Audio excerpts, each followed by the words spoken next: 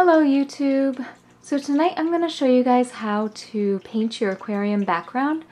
This is just one of the many options that you have um, to make a background for your aquarium. You know, there's always um, those sheets that you buy that you can put on, but this is a really nice way to do it. It, it looks really nice and neat and clean, and you don't have to deal with it falling off all the time. So if you're not somebody who likes to change their background all the time, this is a really good option for you. Um, and it's super simple to do, so we're going to go ahead and talk about that. And I just want to point out that I did paint my aquarium background, so what you're seeing right now on the back of my tank is paint. Um, I decided to paint my background because I had been using a, um, a black uh, just sheet, you know, one of those uh, aquarium backgrounds that you buy at Petco. And it had lasted pretty well for about six months and then it was starting to fall off again and I just didn't want to deal with putting it back on. Um, I actually, I really like the look of not having a background on an aquarium if you have like a white wall behind it. I personally really like that look, but I have so much equipment and you know, I have a huge UV sterilizer in the back of my tank and having a background is just a good way for me to hide all that junk. So, um, yeah. So I'm going to just go through quickly the supplies that you're going to need. So you're going to need paint, obviously. Um, I'll show you the kind of paint that I used.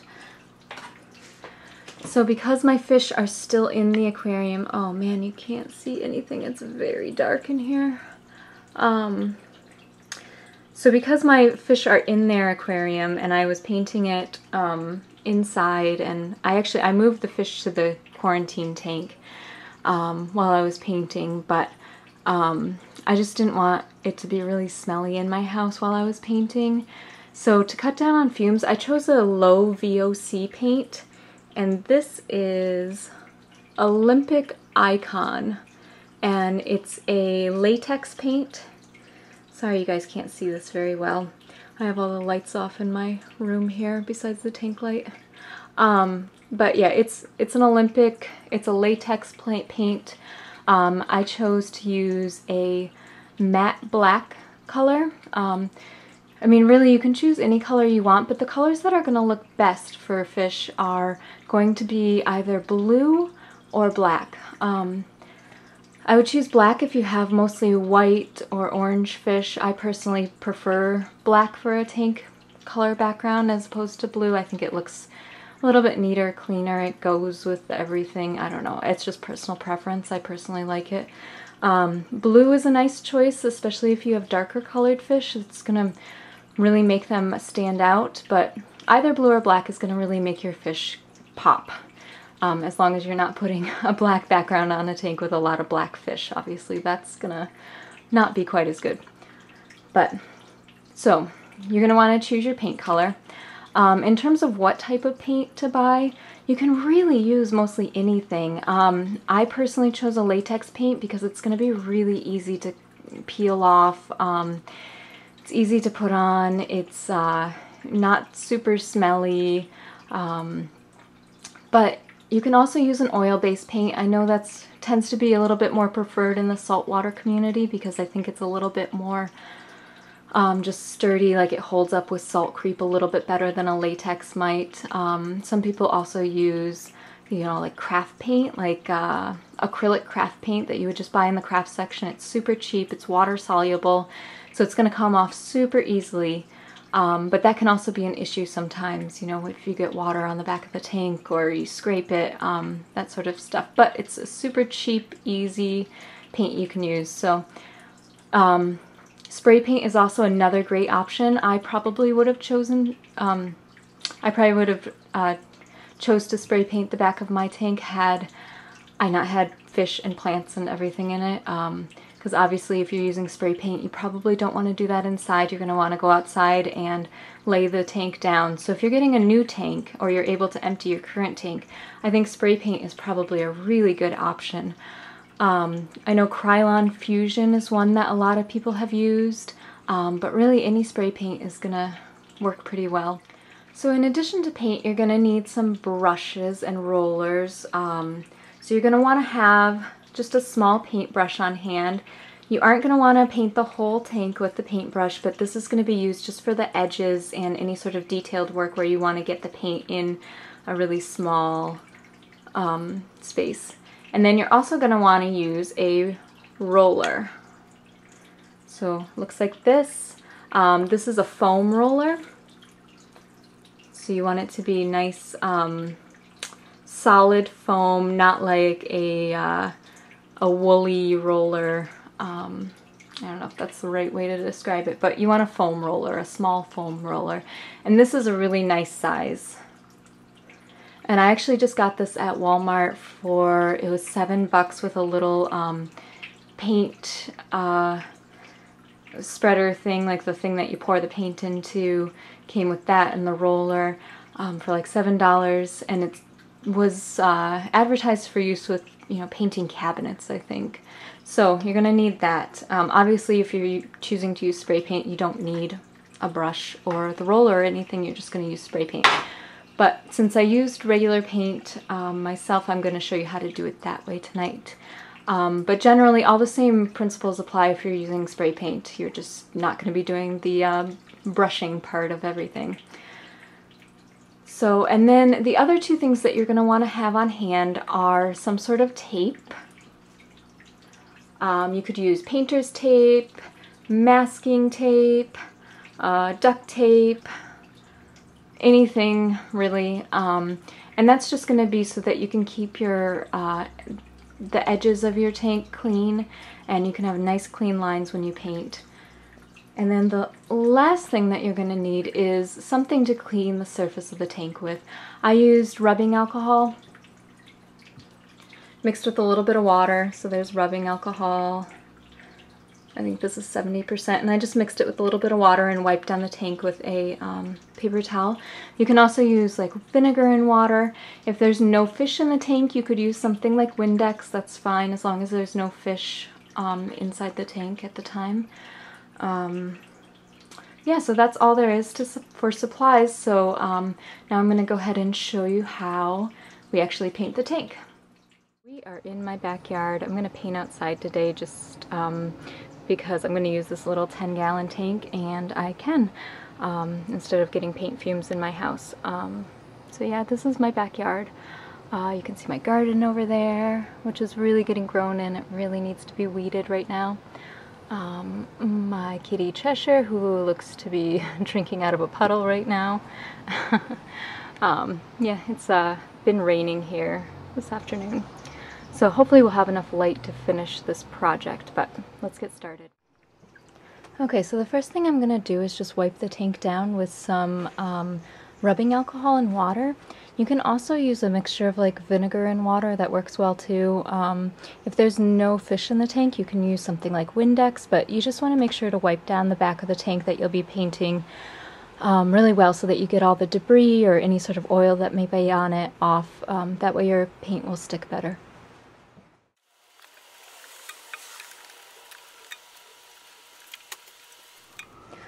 Now that your tank is clean, you're just going to um, take some tape. You can use duct tape, masking tape, um, painter's tape, and just tape down the sides that you don't want to get paint on.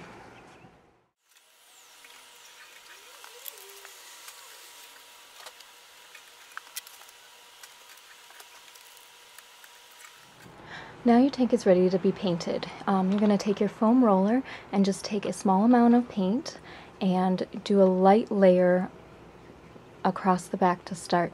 Um, make sure that you don't use too much paint. You don't want it to be dripping. Um, thin layers is kind of the key here. So we'll do the first layer and wait for that to dry.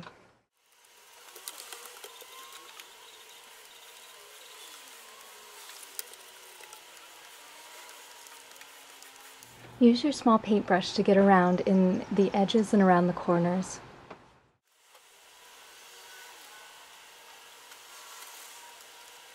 Now we're going to wait for this first layer to dry and come back and do a second. Okay, so it's been about an hour and the paint is pretty much dry. It's still a little tacky, not as dry as I would like, but um, as you can tell, we're losing daylight here, so I'm going to go ahead and just put the second coat on now. Um, for the second coat, you're going to go the opposite direction than you painted the first time around. Um, and uh, with each coat, just go ahead and do that. And you're just going to keep coating the tank until it becomes as dark as you want it to be. Put it under a nice light and make sure that you can't see any light through the background. Make sure everything looks nice and dark and um, then just wait for it to dry and you're done.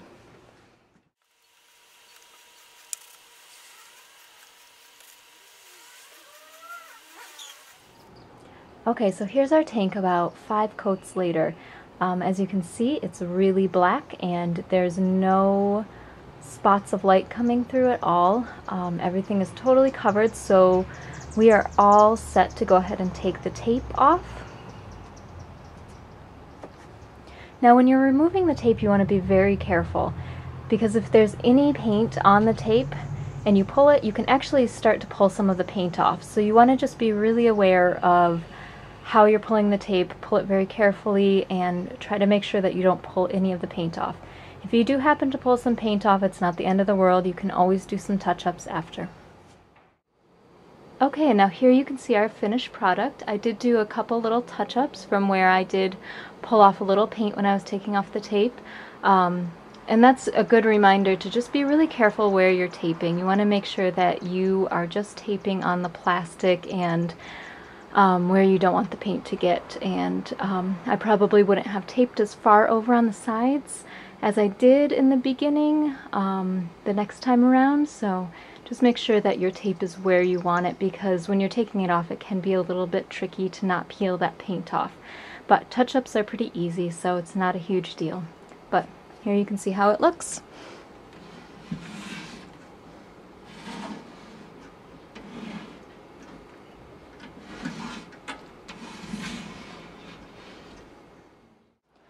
Now if you ever want to remove the background just to paint it again or if you want to do something different with your tank, you just take a razor blade like this. Um, it's nice if you can get one of those razor blade holders. I have one but I couldn't find it. But it makes it a lot easier to hold the razor blade. They make these little things that you, little plastic thing that you put it in. But anyway, you just take a razor blade and you run it across the paint and you'll be able to kind of just pull it up. So I'll just show you quickly how to do that.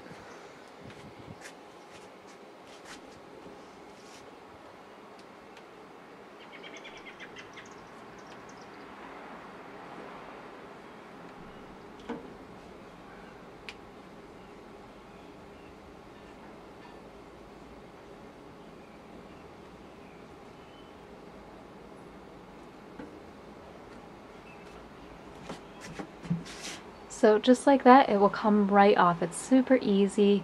Um, the thicker your paint is, the easier it's going to kind of just slide right off. Um, the thinner it is, you may have to razor blade a little bit more, but it should come off pretty easily with the latex paint. Now if you used oil-based paint or like a spray paint, it may be a little bit more difficult to take off. Um, the latex is certainly very easy because it turns into this kind of plasticky material, but um, Oil-based or spray paint may be a little bit more difficult depending on the formulation, but either way, just use a razor blade and kind of scrape across the glass. Um, just be careful not to scratch the glass, but super easy stuff. Um, yeah. So now that your tank is painted, I just want to talk a little bit about how to, um, you know, just basic upkeep of the paint. Um, so as you saw, this paint is going to come off really easily when you want it to come off. And it can also come off really easily when you don't want it to come off. Like if you um, put your uh, canister or your um, HOB filter on the back of the tank and you accidentally slide it and scratch the paint, that can scratch the paint right off pretty easily. So you want to do something to make sure that you protect that paint layer so that you're not having to do touch-ups and all that sort of stuff all the time. So what I did on my tank was actually I put um, my old tank background on top of the paint in the back just to provide a layer of protection between the paint and all my equipment.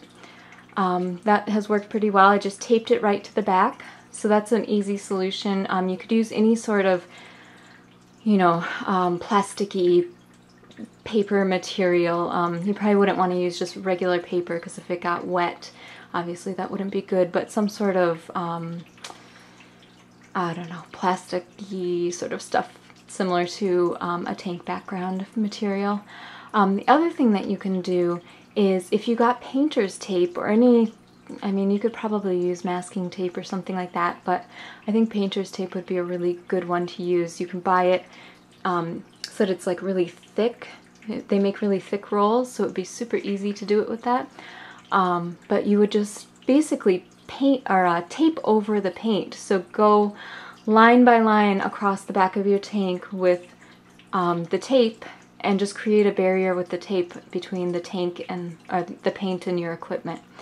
So you just want to think of some way to kind of protect that paint. Otherwise you're going you're going to risk scratching it and having to do touch-ups and just dealing with some, you know, kind of annoying stuff. So um, I think that's all I can think of to tell you guys. If you have any questions, please let me know. If you have any um, other ideas on how to do this or you know you found a paint that works best for you please let me know in the comments below I love to know that sort of stuff um, and yeah let me know if you have any questions thanks so much for watching